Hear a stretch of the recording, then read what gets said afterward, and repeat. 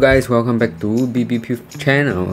Today I will be giving you some of the um, parameter adjustment for each battle piece on the upcoming updates of Godzilla Battle Line. So for this Godzilla Battle Line, there will be a new battle unit which is Godzilla 2021. So if you follow my YouTube channel, I am a YouTube channel that provides Godzilla Battleline news and updates and also gameplay on what are you expecting in this game. So if you are first to our channel, maybe you can give us a like on this video and also um click on the subscribe button anyway it's free so we hope that you can support us just by subscribing to us and we shall bring you the latest news of the Godzilla battle line. And first of all, we will be talking about the adjustment of each battle piece after this update. So the first nerf and buff of this um, Godzilla battle line.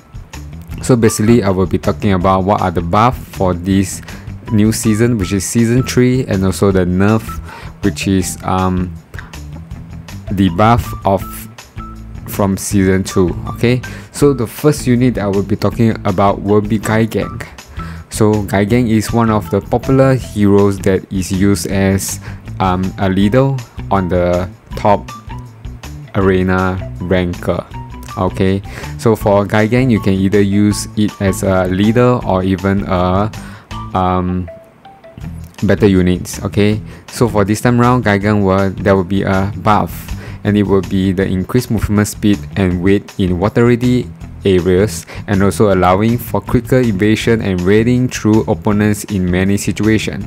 And it's also increased added power and also lower the cost of special move um, for the leader. You can watch the my previous video on talking about all the special powers of the leaders in this game.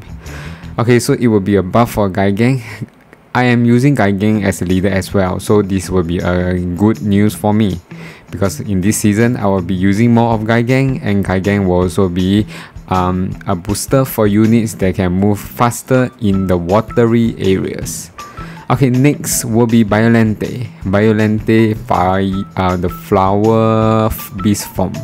Okay, the cost will be re reduced and the evolution time has also been shortened to make it easier to evolve. How to get Biollante? You will need to get it either either from the legendary expedition map or even from the Gachapon or you can purchase directly from the shop. I myself had already catch up on maybe 3 or 4 um, Biollante. I should show the videos at the site for you to see. And if you evolve Biollante for flower beast form, you will get the Biollante plant beast form. Okay, the cost has been also be reduced and increase movement speed in watery areas and also increase the range of normal attacks and increase the range of special attack for leader. What is Biollante good for? Biollante is usually good for um, versus um, packs or swamp enemies such as Destroyer and even the Kamacuras pack. So for Biollante is also a very tanker unit that can able to do splash attacks and the special attacks for the leader is called the Exit Sap. Okay, so it like slowly gradually poison the units um, surrounding it. Okay, the next will be a nerf so it will be a nerf for Mothra, Imago. Because the currently in this update, a lot of people has been complaining that Lido has a very high recovery um, effects on the units as well as the leader itself. So for this time round, the recovery amount of special move for the leader will also be lowered. And the next nerf, it will be very sad because this is my favorite hero in this season 2, which is Hedorah.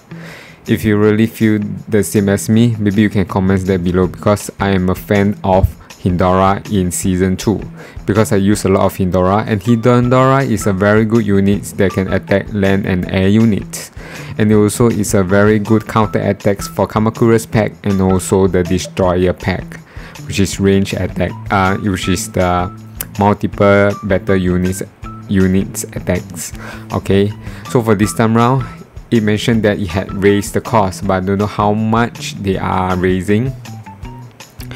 I predicted because the current Hedorah is at 3 costs, so maybe it will increase to 5 costs or even 4 costs. But even if it increased to 4 costs, it is still not a but nerf but it's like a slight buff because Hedorah itself is very OP already so for Hedorah fan just keep watch on the number of costs if the cost is 5 maybe you can stop pumping it first while you can spend most of your your coins to other units such as um, like Gigan or even Minilla okay? Because the next hero that I will be talking will be Minilla for Minilla it will be a buff okay? Because Minilla for this season 3 it will the cost will be lowered just like season 0 in season 0 Minilla is only cost 2 and Minilla is a very tanker and also high DPS unit in season 1 so I'm not sure whether how does Minilla perform in season 3 so I hope that Minilla can be as good as season 1 so if you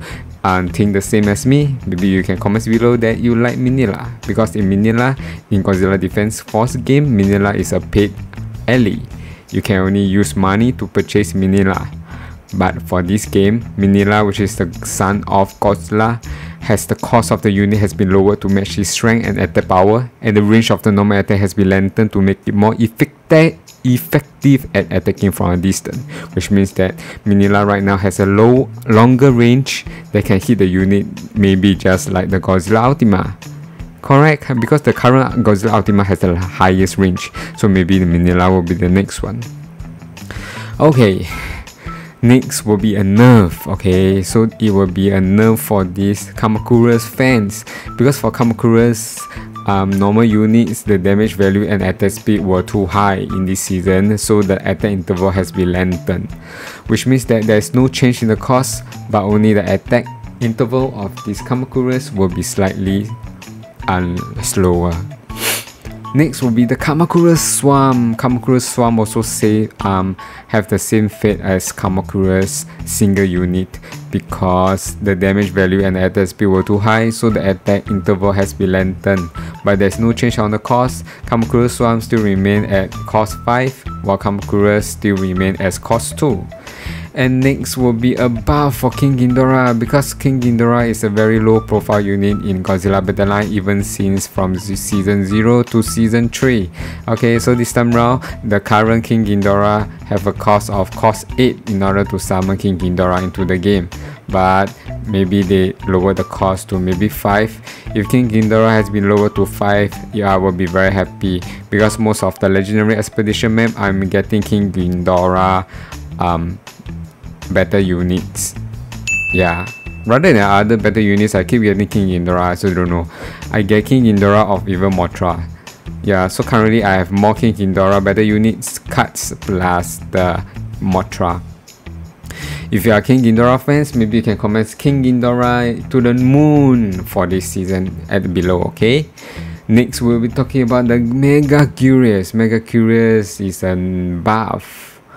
Okay, so um, for currently it has increased the area effect of the debuff that activated when it appear okay so which means that the area of the effect is widened while the current one is not very wide. Okay it is also, it is only concentrated as the at the area that you spawn.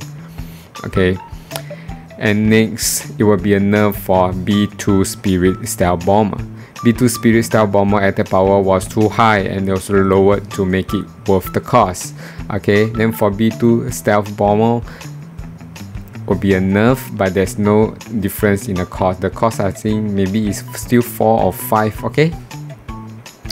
Next, Kong. Okay, Kong is the last season rewards are legendary heroes. So for season 3, Kong movement speed in watery areas has been increased in respect to its uh, activities at sea, which means that Kong can walk faster on water areas such as swamp and swampy areas. Okay, so next will be MBAW93, which is a buff, MBHA, MBAW, which is the tank you can summon two tanks at one go. So for this time round the cost has been lowered and also increased the speed at which units can be generated. In season 0 MBAW is only cost at 2 and the, uh, and the speed and the DPS is damn high. So for season 3 maybe they decrease to maybe 3 costs and maintaining the speed of the units. If not MBAW will be a um, unutilized unit in Godzilla Battleline. So I hope to see more MBAW93 fans in Season 3. Next will be the Psychic Chorus. The growth rate of the recovery has been lowered to prevent the user from recovering too much. Haha, I think Godzilla Battleline they watched my video on the Mothra, Mothra and Psychic Chorus combo. Therefore, they lowered this um, recovery of the Mothra combo with Psychic Chorus. Okay, so there's no change in the cost, but they only um, decrease the growth rate of the recovery value for this psychic chorus which means that you can um, heal slower and maybe not a lot while you cast your psychic chorus on your units areas or even your mothra your healing mothra okay next will be a nerve a, next will be a buff sorry a buff for dimension tide. okay dimension tide is something like mission mission strike just that is slightly underutilized than Mission Strike. It's not as popular as Mission Strike. Okay, Dimension Tide increase the suction and also damage range and the speed at which better pieces are sucked to has been increased and also make it easier to draw them to the center. Okay, so Dimension Tide is a buff for it. It increase the suction and damage area which means that Dimension Tide will cause uh, more damage than uh, usual. Okay. The last and not least will be the robot. Okay, Mogu Moguya. Moguera, okay? So with lowered HP and attack power because he was creating too much of one-sided development. Okay, this will be a nerf for him. Okay, because a lot of people are doing this, using this guy as a counter attack, just like the B2 Star Bomber. Okay, and the damage to dealt while dealing digging through the ground has been also lowered. Yes! So every time uh, with high level this this robot every time clear my um, Kamacuras pack or even the the destroyer pack really damn annoying. Okay, so these are all the details of the adjustment and in the new environment the previous models performance of better pieces will come into play and also allow for more diverse team formation. So we hope that each player can enjoy their own monster all-star battle in this new environment and that management team has been developed the game based on their feedback and also requests we have received from you. So in august we are planning to add new games and features that has been requested and also thank you for your continued support for godzilla battle line. And just an update um, you are able to get free Godzilla coins in um, from this new ICO of Godzilla coins. So if you like to know more information, you can visit the Godzilla coin.io with the links below and also give you some of the um, information on how to purchase Godzilla coins today okay so Godzilla will be the first crypto coins that is releasing in the blockchain so if you're Godzilla fans or if you are interested in Godzilla maybe you can um, visit their website or even their telegram for more information. Also remember to join their twitter. So that's all for today's video. If you like this video remember to like and share and subscribe to our channel and also comments below that how what do you like about the buff and nerf of this godzilla battle line. And i shall see you in the next bbp video. Thank you for watching and see you. Hello guys first of all welcome to our channel if you enjoy our videos please like and comment below don't forget to click on the bell icons and remember to subscribe and click here for more videos.